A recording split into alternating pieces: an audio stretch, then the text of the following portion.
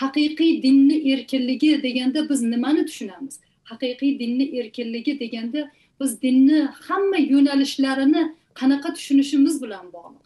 Mana e, talal hasad degan asad degan bir e, islomchi antropologist borlar. Shular aytadiki islomni yoki boshqa dinlarni ortodoksi qaysiligini aniqlash uchun hokimiyat tepasida turganlarni islomni qaysi sektasi bilan bog'lanayotganini yoki shunga yo'l berayotganini bilish kerak. Biz mana dunyoda mana beshta odamdan bittasi musulmon deymiz. Demak to'rttasi boshqa dinga qaraydi. Demak agar biz ularni bizdan emas desak mana shu islomni ichidagi boshqa bir qancha sektalarga ajralib ketgan mana shiyalar deymiz. Eng asosiysi sunniylar bilan shiyalar bo'lsa undan keyin vahobiylar deymiz hizbut tahrir deymiz tabliya deymiz nurchilar deymiz.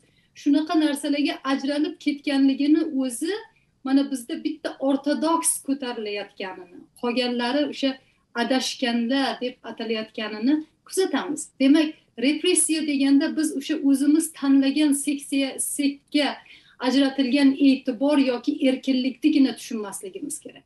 Agar biz faqat shuni tushunadigan bo'lsak xato qilamiz. Biz minglab masjidlar qurib berishimiz mumkin qonunlarni o'zgartirishimiz mumkin. Lekin biz asl o'sha e, haligi islomni ortodoksi bilan ovora bo'lib qolsakda qolganlarni hammasini adashgan deb repressiya qilsak bu e, dinga erkinlik berildi degani emas. Shunday bo'lsa ham e, man ta'kidlab o'tishni judayam to'g'ri deb bilgan bo'lar edim. Karimov davridan keyin mirziyoyev davrida o'sha islomiy guruhlarga bo'lgan qarashlar ham o'zgardi.